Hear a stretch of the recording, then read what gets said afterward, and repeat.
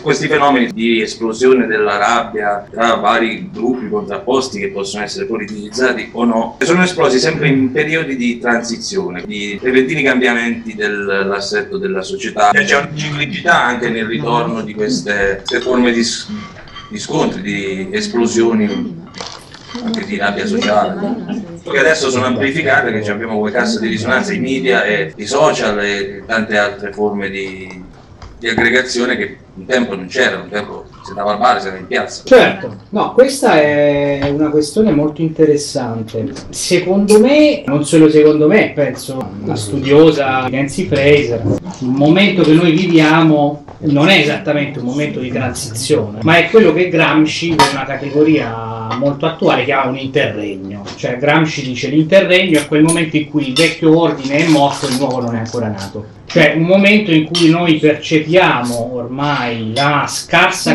credibilità di ciò che c'era fino a un attimo prima, ma non vediamo ancora all'orizzonte ciò che ci sarà domani. O se lo vediamo non è qualche cosa che sembri discostarsi di molto da un peggioramento di quello che già c'era prima e che ci convince sempre di meno. Quindi la congiuntura storica attuale eh, mi sembra un, un momento eh, diciamo di non transizione in questo senso anche abbastanza, abbastanza forte e quindi anche la, il tipo di rabbia, di rabbia sociale espressa in questo momento qui c'è anche una sfida politica, è una rabbia particolarmente difficile da indirizzare anche in direzioni egualitarie, in direzioni trasformative, che è anche una delle ragioni, credo, per cui è così facile vedere la rabbia come un'esclusiva di un discorso conservatore, no? nella nostra epoca storica piuttosto che in altre. Penso che in epoca in cui parlare di contestazione richiamava ad un immaginario radicale che oggi invece non è lì, come dire, a, a darci conforto cioè non c'è più l'idea di dire la contestazione come un fenomeno sociale diffuso e magari positivo e magari creativo e magari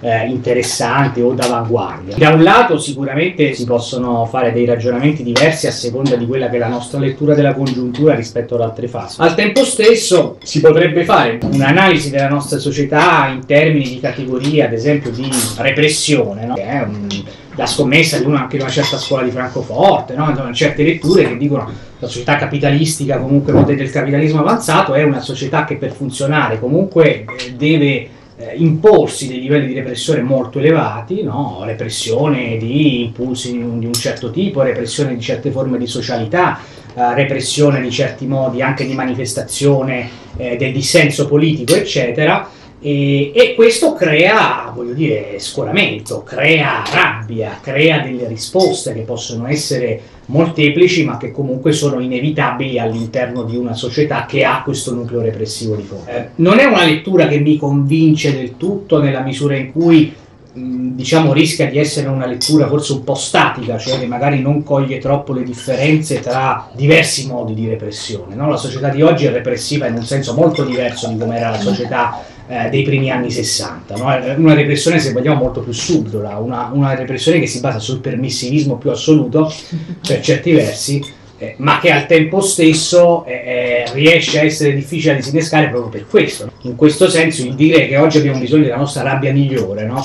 effettivamente eh, la rabbia politica anche radicale di cui forse c'è bisogno oggi è una rabbia che è chiamata a delle sfide ancora più complesse Oggi appunto c'è una sorta di pregiudizio contro appunto il conflitto in qualche modo, no? il conflitto come male in quanto tale, come male a prescindere e appunto di qui la, la condanna nei confronti del, del, ricorso alle passioni in politica eh, che è difficile oltre, oltrepassare, è difficile quasi avere diciamo la chance di esprimere un, un tipo di rabbia, di dissenso che sia radicale, che sia forte. Infatti non c'è.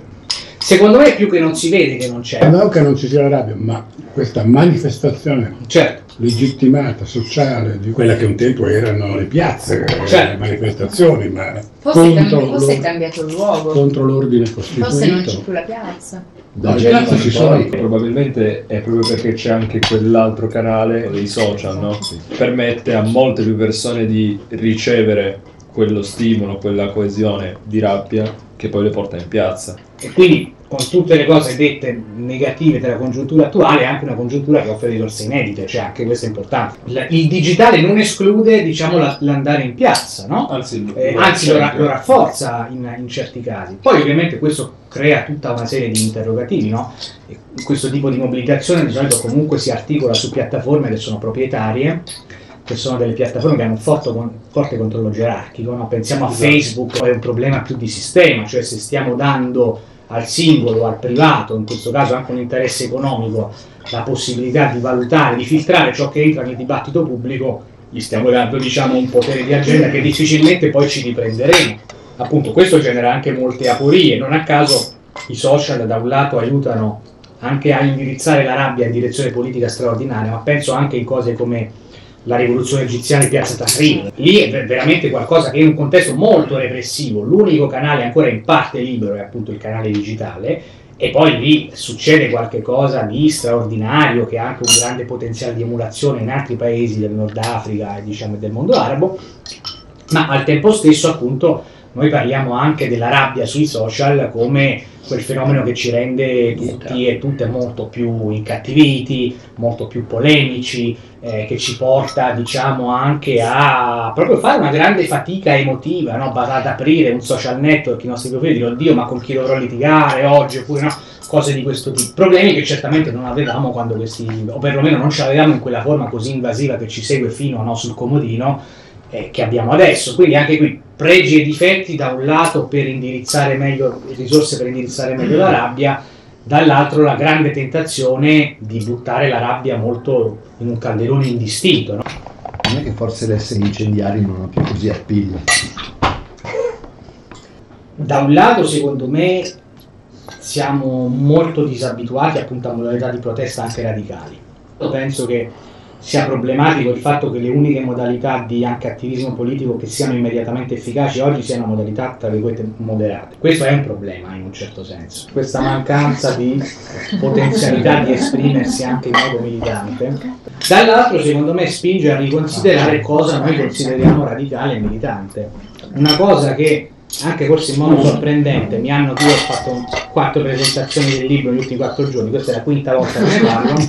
Infatti sei preparato. Tre volte. Sembra quasi che io l'abbia scritto il libro, in realtà l'ha scritto un mio amico che mi manda eh, tre volte su cinque mi hanno chiesto, peraltro persone anche giovani che quindi magari non hanno osservato il fenomeno con i propri occhi, dice e i black block che ne pensi? No? Cioè, perché poi ci sono stati vent'anni di Genova, quindi adesso tutti riprendono e dice ma quello che tipo di rabbia è? Cioè, Voglio dire, quella era una cosa che quando io ero ragazzino, bambino, era considerato il top del radicalismo.